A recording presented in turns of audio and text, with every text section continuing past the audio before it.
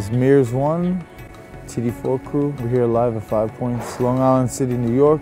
Freezing, you know, it is what it is. Welcome to our swimming pool.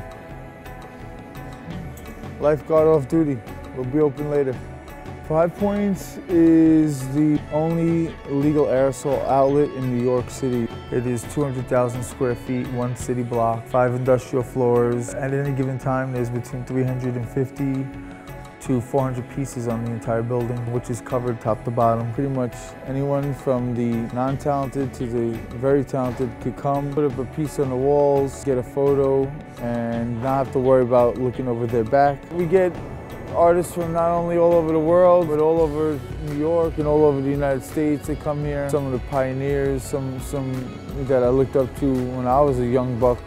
Basically, a writer will contact me in advance, and then I'll uh, tell them just when they get in to give me a buzz. That's just so that we could uh, place people accordingly. I want the people that deserve a really good spot to get that spot. I try to be as fair as possible. I don't want to, you know, use favoritism so that some people don't enjoy the stay here. We're pretty, uh, pretty diplomatic.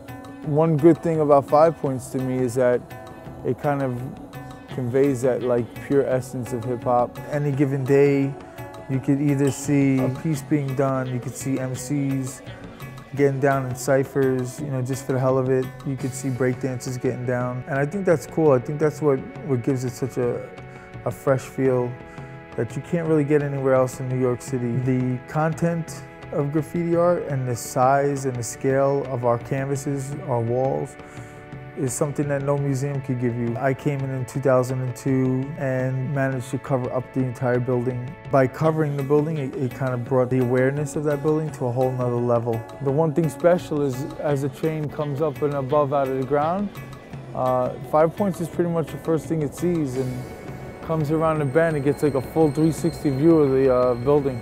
It's like you're watching a movie that doesn't move. People that take the train that might have noticed it now have no choice to notice it. It's, it's in your face. It's clearly the epicenter for New York Graph.